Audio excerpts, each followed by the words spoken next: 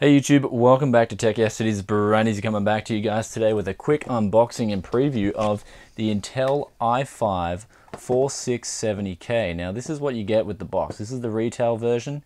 Now one good thing about Intel products is they come boxed extremely well and they also come with the factory seal. So if yours does not have the factory seal, I would just say look, take it back to the socks and say why did you open this uh, if it doesn't work. I mean it's just yeah, the factory seal gives you that sense of knowing that your product has not been tampered with. Now you get the same crappy Intel heatsink as with all other uh, Intel products. So you get the same really, I think it's even thinner than the last gen, the Ivy Bridges heatsink. So this thing is really small.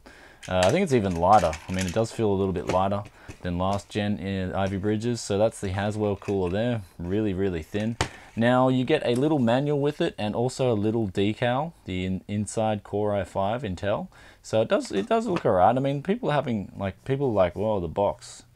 I mean, it's just a box. Who really cares? I mean, comes with the. So anyway, thing to note about this is it comes with the Intel HD 4600 graphics, which I'm not really buying this chip for. I'm buying it for the fact that it, I believe it's soldered to the uh, the this um, TIM is soldered to the chip this time. So you're going to be able to get better overclocks with this chip. So this is uh, opening the chip here. This is what you get.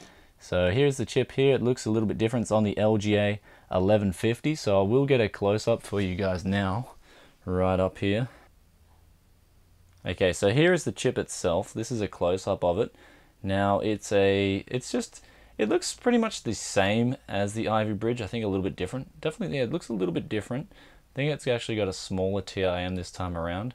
So looking at the back of the chip, I've got to be very careful with it. Uh, it does look pretty beautiful. I mean, yeah. so there it is, guys. That's the Haswell chip. That's what you get with the 4670K. So this is a little bit cheaper than the i7 4770K. It's got 6 megabytes of cache. So you will sort of, I don't know if this is the value king. I think it is for a gamer, this is definitely the way to go. You know, in Japan, you have to pay an extra $120 for hyperthreading and an extra 2 megabytes of cache. So anyway, I'm going to test this thing. I'm going to overclock it and I'm going to put some links in the description below when I get when I obviously make the overclocking videos and I'm going to compare it to the 3570K with a few tests and I'll see how that goes if that see how well that goes. So guys, if you enjoyed this little unboxing and preview of the 3 uh, 4670K, then please give this a thumbs up. And if you haven't already, subscribe around to Tech Yes City.